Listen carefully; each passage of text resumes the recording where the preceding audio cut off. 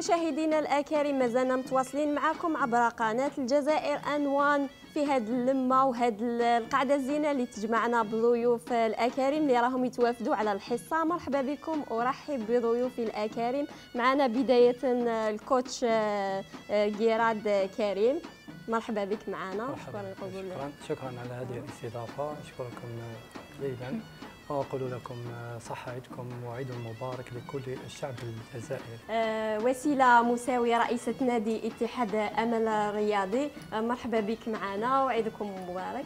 السلام عليكم صباح الخير أختي الفاضلة صباح الخير عليكم كامل صباح الخير المشاهدين اللي عم يشوفونا عبر الشاشة.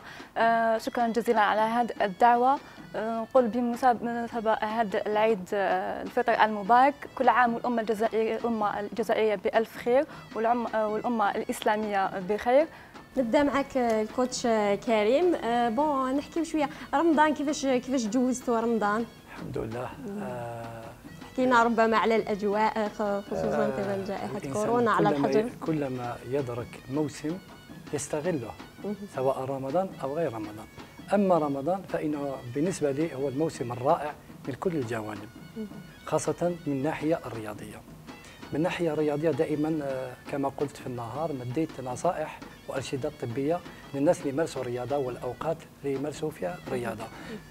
آه كثير من الناس يستافدوا كثير من الناس اللي كانوا يمرون على أخطاء آه في الطريق وكذلك المدربين اللي كانوا يمدوا تعليمات في الرياضة خاطئة وجهت كلامي بصفة عامة وبصفة خاصة. أقول الرياضة في رمضان متعة متعة هي ربما فرصة ثمينة على على نعم الناس نعم خاصة اللي عندهم الأمراض اللي عندهم الأمراض.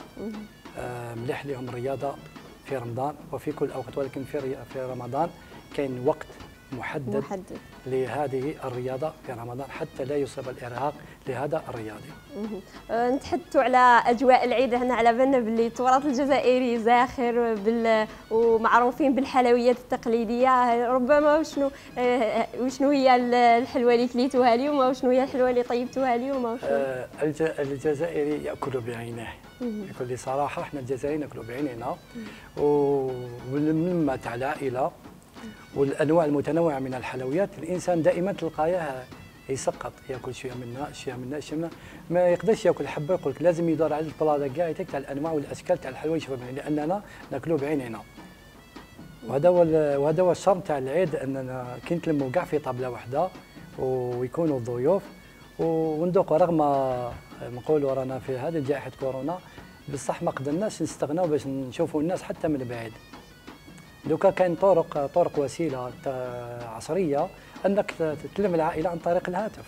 بدون أنك أنت ما تروح تلمهم ويحضروا معك ويحضروا ذاك الجو. آه، من عاداتنا وتقاليدنا المجتمع العربي والجزائري بصفة خاصة عندنا صلة الرحم خصوصا في هذا اليوم المبارك ولا المناسبة الدينية. donc آه، شنو هي؟ صلة الرحم عمرها ما تكون محدودة لأن الحمد لله كاين وسائل الهاتف كاين كاين وسائل. دوك حتى كي تكون يماك بعيده ولا أنت مسافر ولا خالتك ولا آه، دير direct في ال live تشوفها وتهضر معها وتكسر معها. ما ما كاش حتى إشكال. إحنا معروفين ربما المجتمع الجزائري أنه في المناسبات لازم نتنقلوا ونروحوا أنا واحد من الأشخاص عمري في عمري ما راطيت زيارات الأقارب سواء في الجزائر أو خارج الجزائر نحب نخرج ونوصل للناس من هذيك الكلمة آه، آه، أصل الناس حتى لا يقطعني أحد وتكون المودة والمحبة.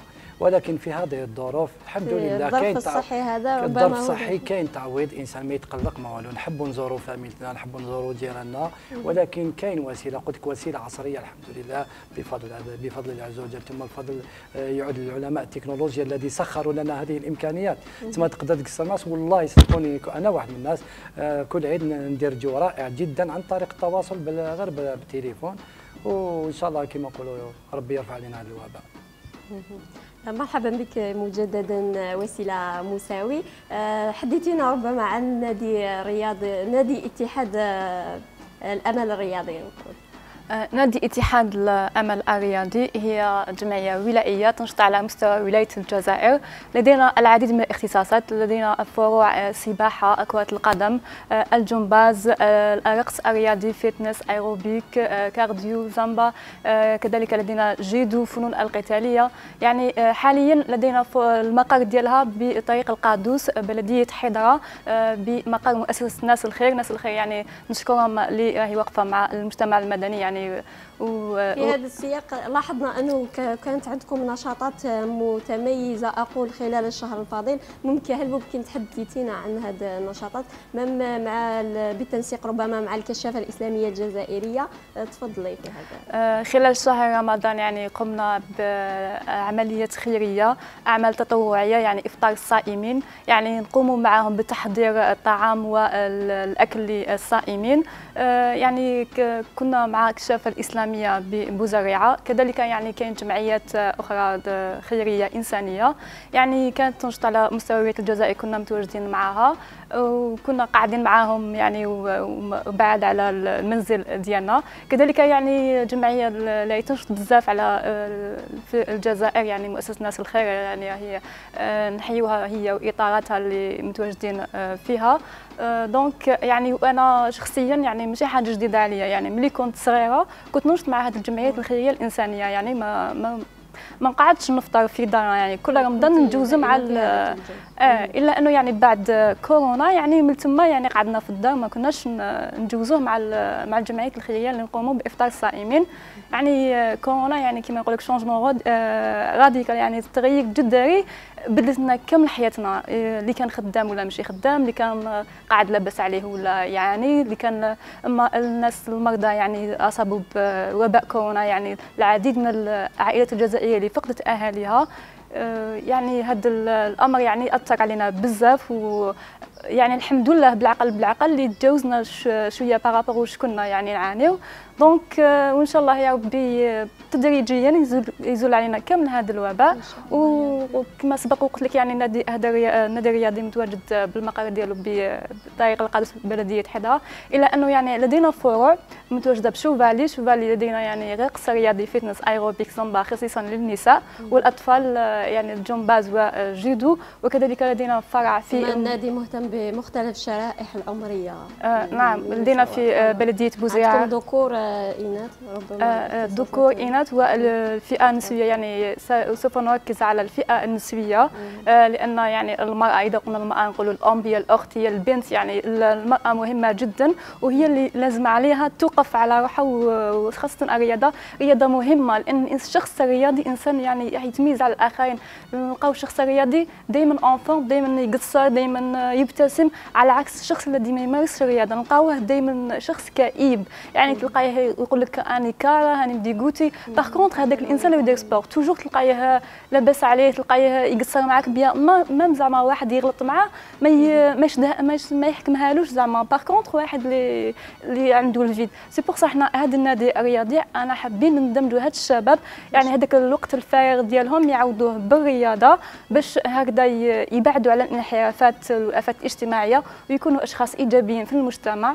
إن شاء الله يعني مع الأعضاء اللي معنا جميعا. إن شاء الله ربي يقدركم. إن شاء الله. آه كيفاش جوزت آه، رمضان وسيلة وكيفاش جوزت العيد معنا اليوم في هذه اللمه آه، حقيقة أنا رمضان جوزتو مع شغالاتي en plus طيبين ما طيبيش آه، في الدار ما نطيبش بزاف نعاون بك يعني تلقاني مع الجمعيات مع الكشافة الإسلامية آه، وقتي كامل معاهم يعني. ربما أكثر من ناحية يعني أنا نحب ندير الخير. كي نكون قاعدة في الدار تحكمني لا فيبلاس par contre كي نكون مع الجمعيات الخيرية نكون نشيطة ونحب هذاك العمل العمل الخيري. يعني فيه بنا spéciale ميزة خاصة. donc ولفت donc يعني toujours يعني كل رمضان نجوزو هكذا à part يعني الموسم اللي فات واللي قبله parce que على جال الجائحة الكورونا. ورمضان انايا ما نكذبش عليك parce que ما نقدرش نرقد يبا mais الحمد لله يعني إذا ربي سبحانه في رمضان يمد لك طاقة. تقدري تريزيستي تقدري ديري شغالاتك malgré ما ترقديش malgré. والحمد لله يا ربي. شكرا. نرجع لك آه، ال coach كريم. كيفاش دوزت اليوم؟ كيفاش كانت أجواء العيد؟ لا لا بس روعة. قلت لك العيد حتى كتسمع العيد موسم رائع جدا موسم اللي اللي تروح فيه الكآبة موسم اللي تولي فيه الأخوة موسم اللي راح فيه تواصل موسم اللي راح يروح فيه الشحناء والبغضاء. الإنسان اللي يوصل لموسم كيما هذا ما يكونش سعيد إنسان مريض نفسيا. لازم يشوف دكتور لازم يعالج. الإنسان لما يجيك خير من خير كما قال النبي صلى الله عليه وسلم فرحة الإنسان عنده فرحة فرحته عند الصائم سبحان الله والفرحة الثانية عندما يلقى الله عز وجل. الإنسان كي يوصل العيد ما, ما أنا نشوف حتى الناس عائلات فقيرة ما, ما كان. بصح يوم العيد تلقاهم الناس عندهم ميزة خاصة سبحان الله يضحكوا معاك يكسروا معاك. اذا ما تقدرش أنت تنتقد في العيد وتقول ما جوش سعيدين مليح. هذا إنسان أنا نقول لك نفسيته والله ما من الناس ما عندهمش بيتين في الشارع. تلقى نهار العيد إنسان واحد آخر.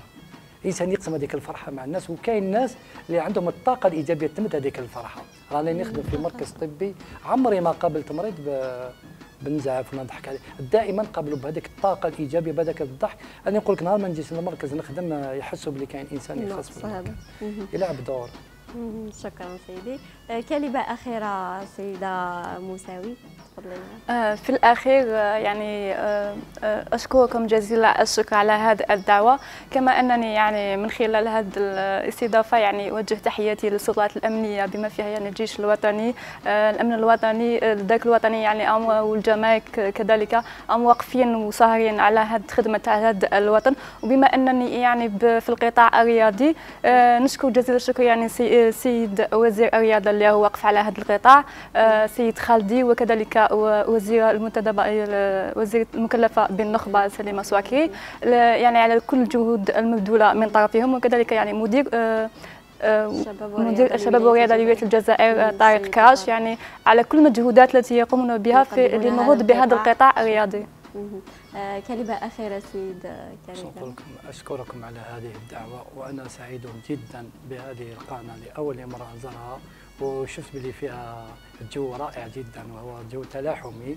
ويمد الطاقة الإيجابية وهذا شيء يشرفني وأقول كذلك صح عيدكم وصح عيد لجميع الشعب الجزائري. وكذلك أمد واحد النصيحة قبل ما نختم بها من ناحية البابات من ناحية البابات أنا شخصيا درت بتيت ريشيرش على البابات البابات الصحية والبابات الغير صحية. هي هي الكمامة الكمامة بالعربية.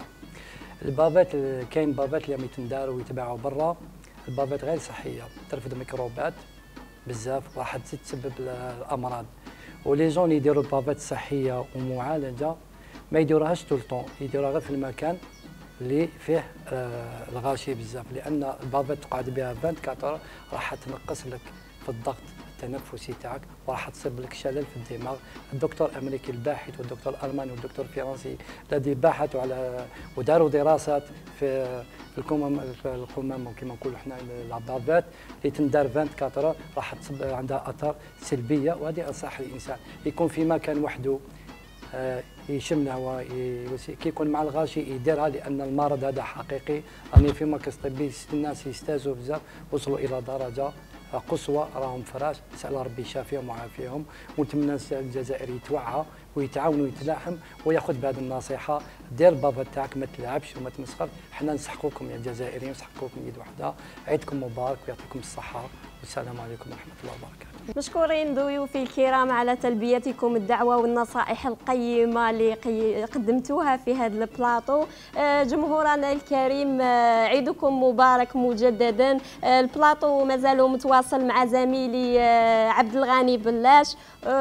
عيدكم مبارك كل عام وأنتم بألف خير. ربي يرحم موتانا ويشفي مرضانا. إن شاء الله ربي يرفع علينا الوباء والبلاء إن شاء الله.